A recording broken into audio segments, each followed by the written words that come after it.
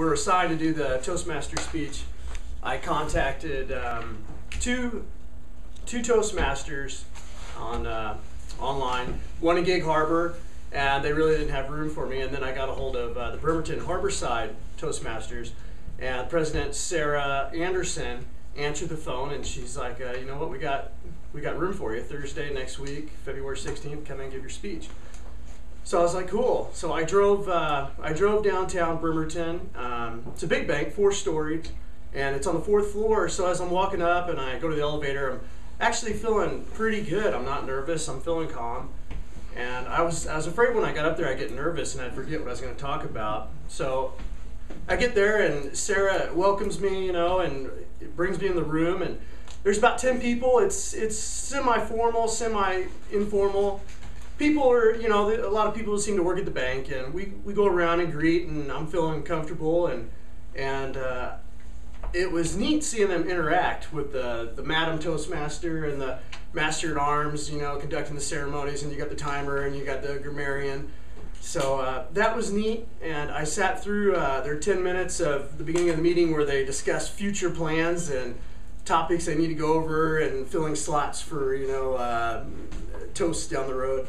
So the speeches start, and the, the guy before me, Patrick, gets up and he goes to talk and as he walks up he, he thanks the mr toastmaster he thanks fellow toastmasters and then i'm thinking i don't know if i can do that because i'm not really toastmastering i'm a guest. And, and then he looks at me and he's like a distinguished guest. I'm like oh cool.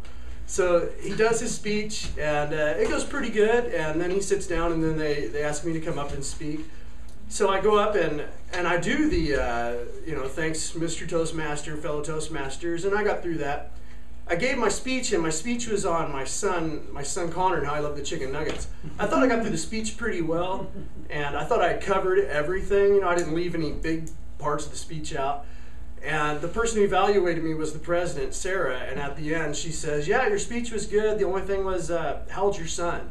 I was like, "Oh man, I forgot that."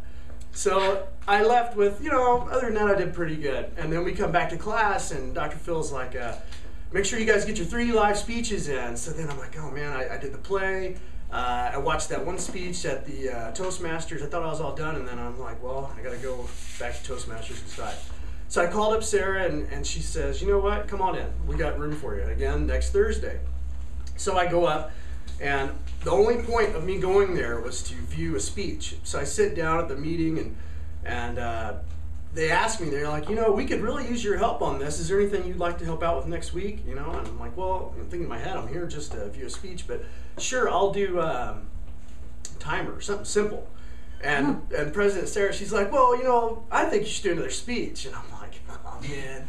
All right. So the next Thursday, March 1st, I go up there again and I give another speech. And this time I get there and it was uh, even more comfortable because I knew everybody and shook hands. It was about 10 people. And the, the person doing the uh, grammarian asked me if I could critique them as well. So I got to take notes and, and say, yeah, you did really good. You were attentive. And, um, and I also got to give my speech. And Mark, who did my critique, says, uh, you did good. You know, you didn't leave out any key points. You said less ums than you did last time. And uh, otherwise you did good and i felt i felt good about it. So i left thinking you know toastmasters is all right i can do this public speaking thing and um, what i got from it was if you go to toastmasters don't plan on sitting by and just kind of getting away with nothing because they're going to make you do something. And uh, hope you enjoyed it